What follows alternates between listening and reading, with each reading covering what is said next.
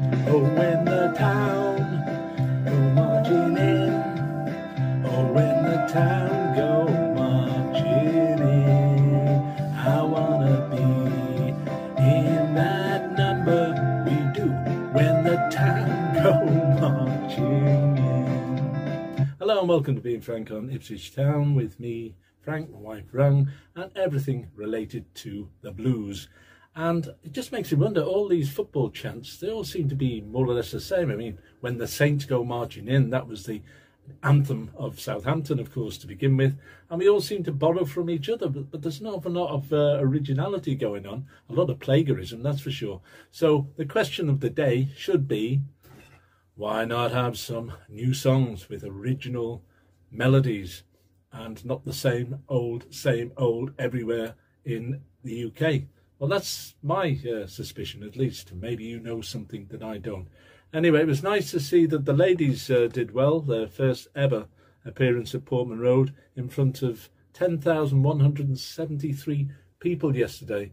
And um, yeah, plenty of goals, plenty of action, and apparently a very good game. So, congratulations to Joe Sheehan, who is uh, the Keepy Up Challenge leader by a long way. He uh, I think it was 102 he made, didn't he, on uh, Life's a Pitch last week?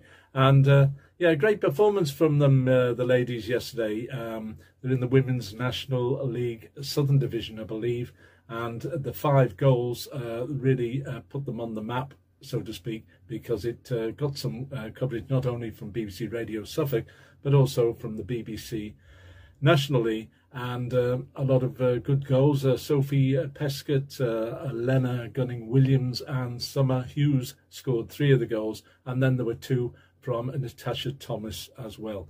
Anyway, congratulations to them. And, well, the question of the day I've already mentioned, but there's another one that makes me wonder whether if Hladky was to go to Celtic at the end of the season and Christian Walton was to move on um, because he's uh, increasingly frustrated. He doesn't really, in my opinion, fit into the, the style of play that Ipswich wants, uh, which is uh, the McKenna system of pushing forward from the back quickly.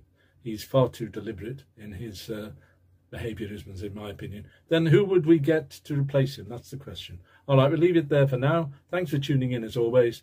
And when the town go marching in, I'm looking forward to it. All right, take care and up a down.